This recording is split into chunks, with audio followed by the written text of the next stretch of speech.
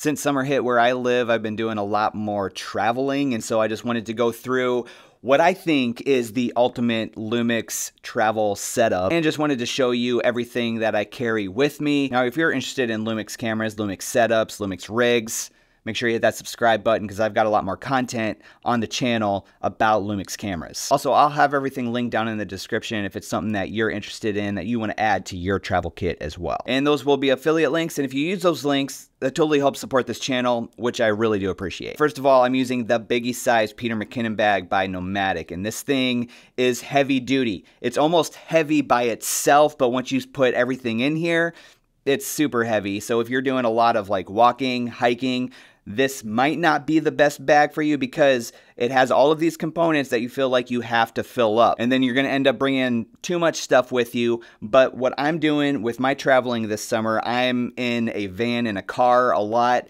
traveling. So I'm not like walking through airports or things like that. So I have the ability to put this bag down so I can fill it up full. And I know that I don't have to have it on my back all the time. So a couple things. First, I don't have this front pocket filled, but normally I would probably put some clothes in this front pocket. It expands, but I do have have the Ninja 5 in here. But I would put some clothes in here for an overnight, like at an Airbnb or a hotel. Another great thing about this is the computer pocket back here by your back. You know it's protected. Another thing about this bag is you have a quick side pocket that you can unzip and pull out your camera real quick if you need to access it really fast and not set it down and open up the whole back panel. All right, so when I'm doing my traveling this summer, here's everything that I carry with me. Let me get this unzipped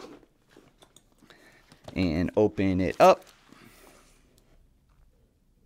Before I get to all this stuff, let's just go through what I have in these little pockets here. And this is gonna be my media storage container right here. So I've got the SSD drive that I would record to the S5 2X. I got my project drive that I edit off of, which is an M2 drive. And then I also have an SD card holder in there. And then if I am recording to the Ninja 5, I have a little dongle that I can transfer files from. And then I've got my battery compartment and a multi-tool. A multi-tool. Always have a multi-tool with you because you never know when you're going to need it. Now this probably should be in the media storage, but this is the drive for the Ninja 5. Let's just toss that in there. First of all, thanks to Lumix, they're letting me use the S5 II, and on the S5 II, I have the Sigma 16 to 28 f2.8, and this is a great lens for if you're going to do any type of vlogging on the Lumix S5 Or if you just need a quick everyday lens. It's lightweight, and you're going to be able to make a ton of content with this lens. And then I've got a Freewell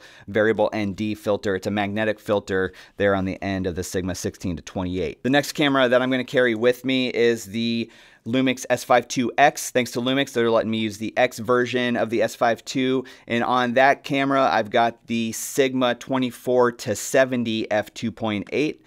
And this is a heavy lens, so it's a great everyday lens, but it's a heavy lens, and so it's gonna add a lot of weight to your travel pack. I'm not hiking around with this. This is basically just to transport all of my gear from point A to point B. But this lens is something special. It's a great everyday lens and I want to bring along the S5 II-X because I have that USB recording. But then if I find myself in a situation where I want to record RAW through HDMI, I can do that as well. I have the S5 II-X with me that I can totally rely on for that high spec shooting. I also want to carry a big telephoto lens and this is the Panasonic the Lumix version, the f4 version of the 70 to 200 millimeter. I love that everything is internal. You don't it doesn't pop out at the end of the lens when you adjust focal length. It's got this little clutch here for focus, autofocus. It is a stabilized lens, so if you have this on your S5 II or S5 II-X, you're gonna have that dual IBIS. Now, one of the things I like doing is carrying a prime lens with me, and my favorite focal length is the 50 millimeters. So this Lumix S Series f1.8 is a great lightweight lens to carry with you. And if you have not used these S Series lenses, I highly recommend using them because they are fantastic lenses. Now I could probably get rid of a lot of weight and carry probably the the 18 millimeter through the 85 millimeter these S series lenses, but I kind of like the versatility that having these different focal lengths, these variable focal length lenses brings. But I like at least having one prime lens with me because they're usually a little bit faster and you can really blow out that background if you need to. Then in this pocket right here, I've got some other variable NDs like this Freewell magnetic ND I will use on the Sigma 24